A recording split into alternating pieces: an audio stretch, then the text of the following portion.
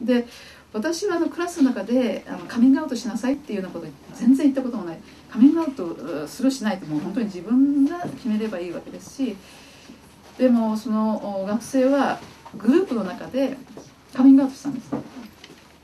そして、えー、グループ発表の時にはあのトランスジェンダーのことについてグループ発表したんですね。で、えー、私はそういうふうなああ学生たちが何を考えてるの制度ドイツ性障害とかって、ええ、いう言葉があ巷に流れたり、えー、そういう状況になってだんだん変わってい、えー、ったんですけれどもでも彼女は彼女トランスジェンダーの人なんですがあの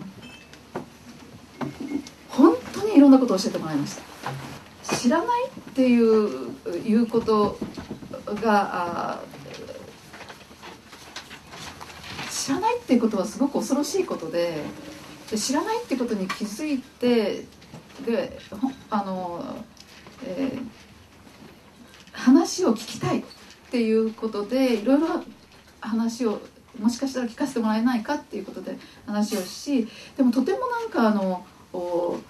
おとなしくおとなしくっていうか私としてはもっといろんなものがこうどんどん出てくるのかって言ったらいやこれも無理でしょ大学ってもうこれも無理でしょっていう初めはかなりこうあのなんていうんですねもう初めからあまりそんなに要求希望をあんまり託したくないっていうそういうのがあったんですよね。で私はこう聞いていてとにかく大学のキャンパスの中でどんな不都合があるのかどんなことがあるのかそうすると名前があの女性の名前になって自分を男性だと思ってるのにで男性としてのネットワークを友達の間に作っているのにメールボックスに行くたんびに「お前は女だお前は女だお前は女だ」っていうふうにして言われる。でそれがもう自分がせっかくやっと作ったネットワークをズタズタにズタズタにされてるそれが私にとってのキャンパスライフだっていうふうにして言われたんですよね。そしそれはそれだったらちゃんと対応しなきゃいけないっていうことであの IC 人権委員会っていうのがあるんですけどももう人権委員会でその学籍を変えるっていうことができるようにっていうことを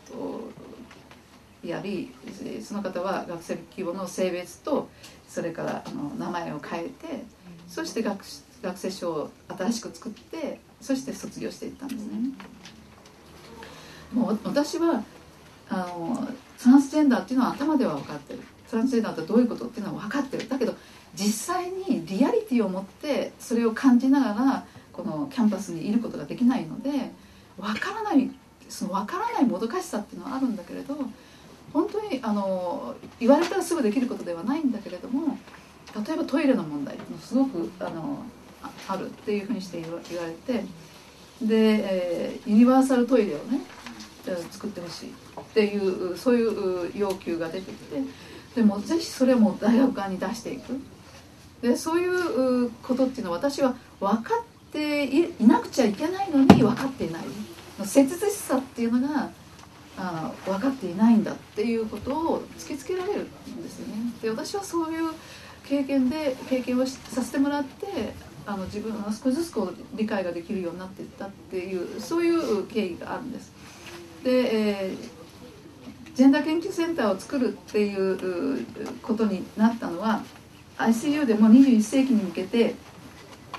どういうふうなカリキュラムを提供していくのかっていうふうな一つにジェンダー研究っていうのがあるんじゃないかとか可能性があるんじゃないかっていうのがこれ大学側の方から提案があってでジェンダー研究というその時はジェンダー研究って言いましたジェンダー研究っていうプログラムをカリキュラムを作るんだったらそしたらやっぱり場所がいる。両方はやっぱり必要だっていうことで大学に要求しそれが認められる形で2004年にあのオープンになったんですけどもその時までに私は学内で10人ぐらいあの性的マイノリティの学生を知っていたんですね。でその人たちも本当に声をかけてジェンダー研究センターができるからいらっしゃいっていうような形で声かけてで、えー、あの事務員を受けないからアルバイトってていうアルアルバイトでだったんですよ初めね。ででその2人はすでに、えー、助手として働いてた人ですが3人目がそのあゲイの学生が3人目のアルバイトになってくれて。そしてそのジェンダー研究センターが作る作っていく準備期間からあ性的マイノリティの学生たちがたくさんその中心的なメンバーになって動いていってですから初めからあジェンダー研究センターの中心メンバーがあのセクシュアルマイノリティの学生たちだったんです。で、えー、私はジェンダー研究っていうのえジェンダー研究はやっぱりセクシャルマイノリティの学生たちが生き生きできるような場でないと本当にジェンダー研究にならないって思っていたのでその方向で、えー、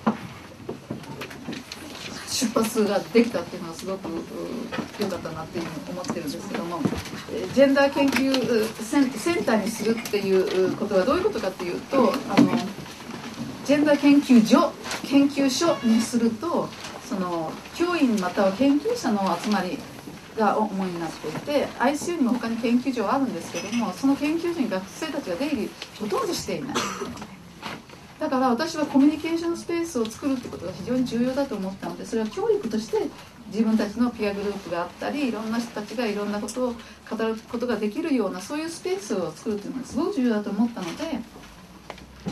初めにコミュニケーションスペースっていうことで始めましたその時に30人か40人の学生が出たり入ったり出たり入ったりするようなあセンターとして出発することができたんですね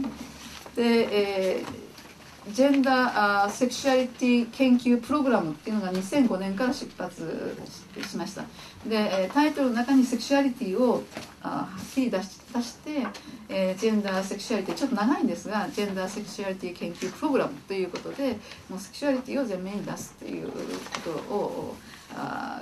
考えました。でこういうのも全部手探りでみんなで話しながら作り上げてきたっていうそういう状況になります。あ CGS っていうあのセンターあええジェンダー研究センターはもう入入るところにバーンってあのレインボーフラッグが書いてああの貼ってあってですね開けた瞬間もう虹色なんですよね。